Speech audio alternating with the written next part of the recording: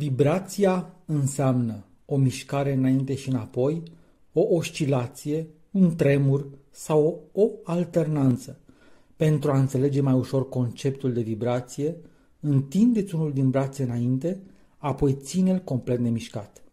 Deși brațul în sine rămâne nemișcat în fața ochilor tăi, electronii care îl alcătuiesc se mișcă, oscilează sau vibrează cu o viteză de aproximativ 300.000 de km pe secundă.